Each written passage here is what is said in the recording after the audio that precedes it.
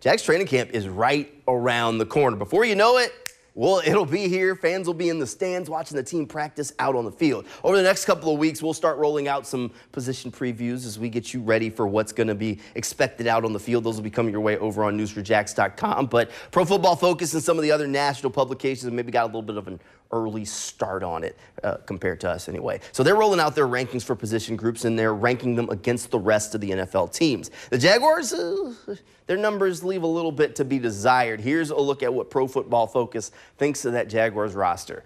They have the O line ranked 23rd in the NFL. Not great. It gets worse. Receivers at 25th, running backs at 12th, D line at 26th Linebackers at seventh is pretty good. Secondary at 29. So, so not exactly great numbers. Some of these numbers I think I can live with a little bit more than others. I got two that I really take exception to. And the first one I want to talk about is the Jaguars defensive line group. 26th is no way a solid representation of this Jaguars D line room. So look, last year you had two guys on the Jaguars defensive line that racked up double digit sacks. Josh Allen and Travon Walker both were busy sacking the quarterback last year. So can we expect them to have a couple of more big seasons for the Jaguars? I think this guy you definitely can. And I think we can make a solid argument that Travon hasn't played his best football yet. So saying that these two combination of edge rushers is on the 26th ranked defense in the NFL or defensive line group in the NFL, uh, that's a tough pill to swallow because how many teams have two edge rushers that can go and get you double digit sacks? Not many. So the Jaguars feel pretty good about that, but the, the group's not done because they made some big additions compared to where they were at last year. Bringing in this guy, Arik Armstead. Arik Armstead coming off of a, a, Super Bowl run with the San Francisco 49ers. He is a big guy. He's been a dominant defensive lineman throughout his career the addition of him to the Jaguars defensive line group is going to pay huge dividends. So we've gone through three players that are in the defensive line room, and just the combination of those three on their own should tell you this is at least at bare minimum, a middle of the road defensive line group. And that's not to include some of the other guys. So, one of the new faces that I'm kind of excited to see how he develops is Maason Smith. So, Jaguars used a second round pick on this guy, and this is kind of a, a home run swing kind of pick. I said it when they drafted him nobody knows what Maason Smith's best football looks like because at LSU, injuries were the name of the game. So the question is, how quickly can he get up to speed here in Jacksonville? And can he stay healthy?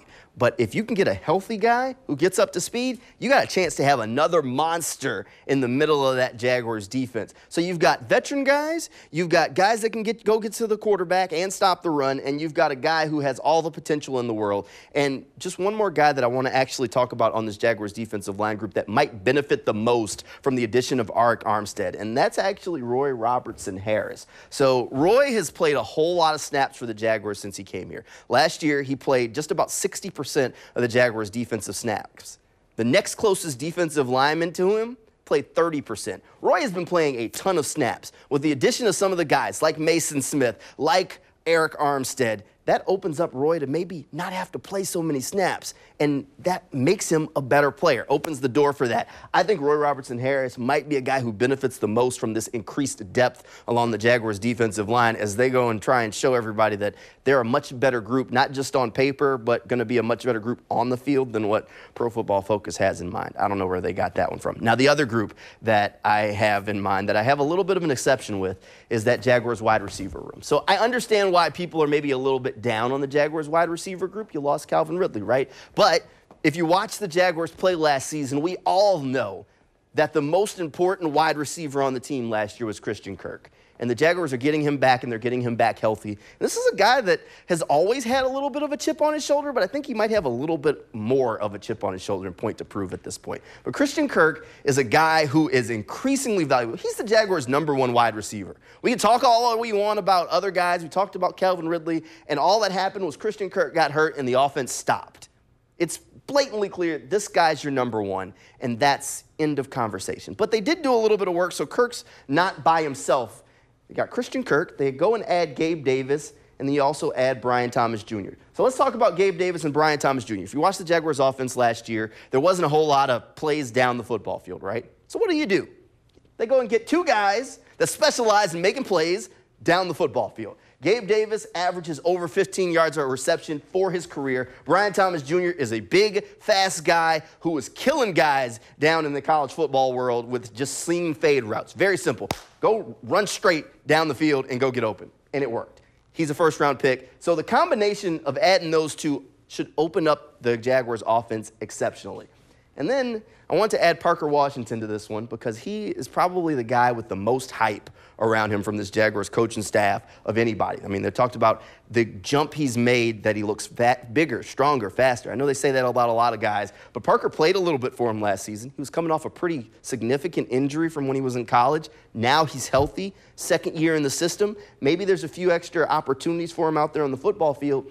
The Jaguars wide receiver room, while on paper, you lose Calvin Ridley, and people are like, oh, maybe it's going to be worse. I like the composition of this year's Jaguars wide receiver room much better than I did last year with the pieces that were there. And I thought Calvin Ridley was going to be really good. But I think that this combination of talents is going to be much better for the Jaguars offense as a whole and should open up things for Trevor Lawrence and for all of these guys to make some big plays out there on the football field. Look, overall, the Jaguars have a lot to prove. We saw it last year where teams were or people were picking the Jaguars to be the Super Bowl favorites and to make this big run through the playoffs and win the AFC. And then we all know how that storybook ended. It didn't end great. Don't expect that sort of fanfare, that sort of media love from the national guys this go around because of how last season went. They're not looking at maybe the additions, the changes that were made to this Jaguars roster this offseason. They're looking at it and saying, ah, last year they showed us they couldn't hack it when, when times got tough late in the season, when they had an opportunity to go and, and put their stamp on things.